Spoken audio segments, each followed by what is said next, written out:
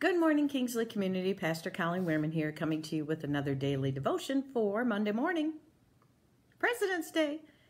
It is February 21st, 2022, and I'm reading a devotional from crosswalk.com.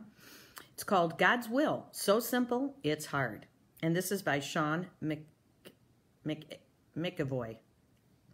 Sorry, Shawn. Scripture reading 1 Thessalonians 5 16 through 18. Apostle Paul writes, Rejoice always, pray without ceasing. In everything give thanks, for this is God's will for you in Christ Jesus. So Shawn writes, God's will for my life. How often have you pondered that notion? No, uh, studied, studied it, read untold books about it, know people who tortured themselves trying to locate it. Well, here we have an obvious chunk of it, even compact and useful, just as we like things to be, tucked away at the close of Paul's first letter to the church in Thessalonica. This is God's will for you, it says. Well, yes, it says that, and it sure is pretty almost poetic, but is it deep enough? Shouldn't there be more? Is it practical? Okay, then let's go to the Old Testament uh, the Old Testament. Prophetic action oriented Micah 6 8 says, This is a prophet, a minor prophet, means he got a little bit written about him, or a little bit of his writings. Major prophets are the ones that have most of the writings. It doesn't mean one's more important than the other. Micah 6 8. He has told you, old man, what is required of you, what is good, and what the Lord requires, that you do justice, love, to love kindness, and to walk humbly with your God. It's still simple, still bunched in a group of three, still indicating that there's no big mystery way far out there, mystery far way far out there that we which must be solved before we know how to act or decide or how God wants us to act or decide. So if you want to know God's will, Micah 6 8. This is what the Lord requires of you to do justice, love kindness, and walk humbly with your God. So why do we ask for more? I think it's because the ridiculously simple, paradoxically enough, is ridiculously hard, and we know it. See, uh, G.K. Chesterton famously said, The Christian ideal has not been tried and found wanting. It has been found difficult and left untried. so to do justice, love kindness, and walk humbly with God. I do not see any of that going on in the world today. We could spend a lot of time discussing the ins and outs of how easy or hard God's will is, or where else in His Word we can find snippets of it. One woman from my Bible fellowship class is fond of asking, asking these during our lessons. What does that look like? Let's ponder on that for a minute. The situation is this you've been sent out on a missionary journey via a clear calling from God. The resources were there, the people willing. You are leading your group through a city when you encounter a psychic who keeps taunting you. After a while, after a while, through calling on the name of Jesus, you cast out the evil spirit within her. Hooray! Score one for the Lord and your group. But alas, there is no praise here because those who have been making some cash off the now set free woman's powers aren't happy with you. They drag your group before local law enforcement. How have you beaten and have you beaten and thrown into prison? Hey now, this is from this is uh, from the book of Acts.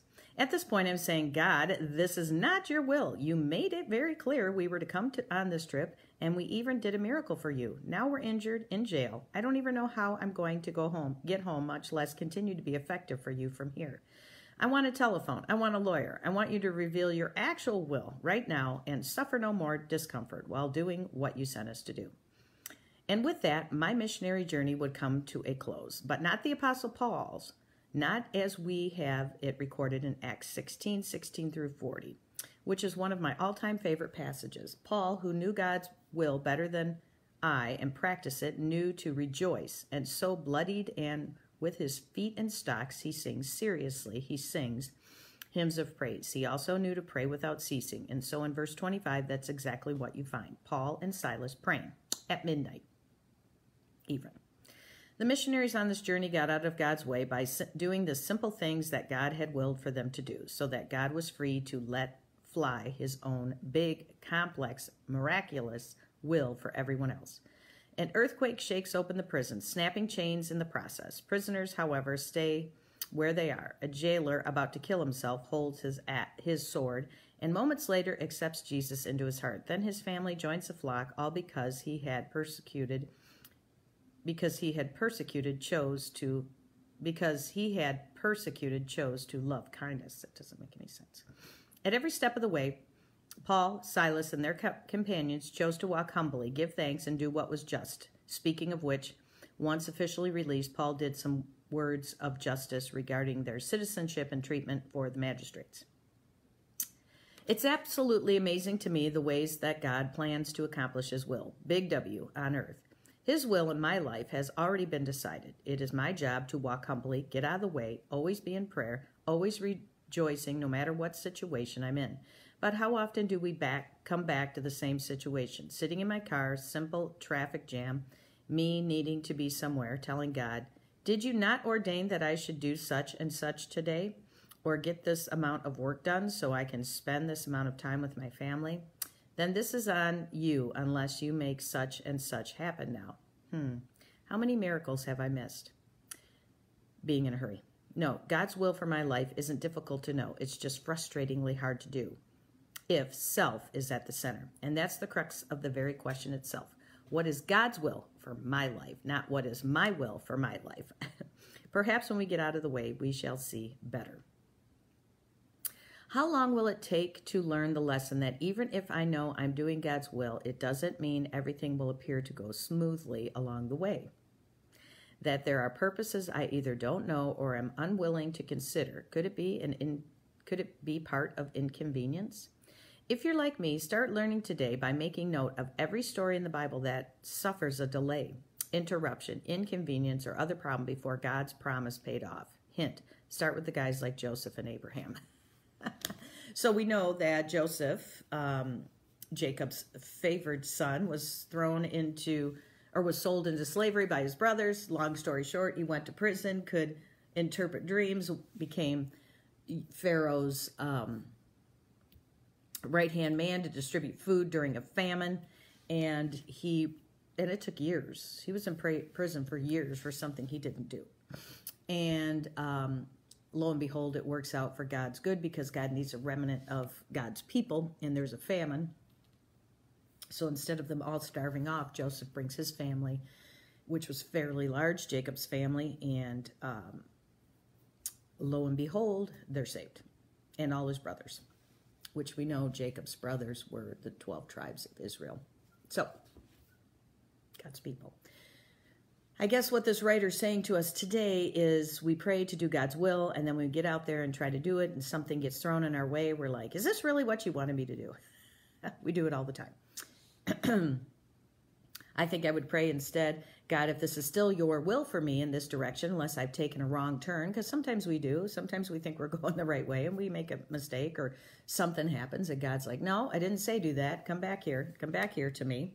And so he make make a delay, an obstacle, something that we have to pass through or go around to accomplish his will. Because he's got other people, you know, that he's got to put in place to get that will done. So not that he, we're puppets on strings, but a lot of us make decisions based on ourself, and therefore we go off the, we take a detour, and God's like, okay, you could take a detour, but that's going to be a dead end road, and once you figure that out, you'll come back here. So pray for God's will to be done. It's not difficult. Um, you know, we know what Micah said. God said through Micah, do justice. When you see something that's not right, speak up, try to help. Speak for the voices that can't speak for themselves. I think of elderly people, special needs people, and children. Walk humbly with the Lord, meaning don't think more of yourself, put God first, and then your spouse, and then your children, and then church activities. Um, but remember, we are the church, and that is in and in and through the church, the only place where people find Jesus. Somebody's got to talk about Jesus. Somebody's got to live like Jesus. Somebody's got to speak like Jesus. Somebody has to do something like Jesus so people will be like, oh, that looks better than the way I'm living. And so do justice, love kindness, or mercy. I think mercy was another translation.